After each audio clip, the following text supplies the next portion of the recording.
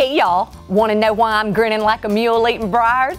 Cause I've written a new book. It's called Talk Southern to Me, and here's what one of my favorite Southern women on earth, Dolly Parton, has to say about it. I love all things Southern, and I really love Julia Fowler's new book, Talk Southern to Me. I know you'll love it too. It's fun, informative, and oh so Southern.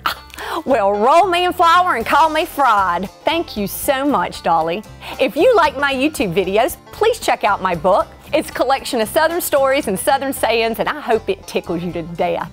You can find my book on my website, southernwomenchannel.com, on amazon.com, or at your local bookshop. Thank you so much for supporting the Southern Women Channel. Bye! If y'all need anything, just holler at me.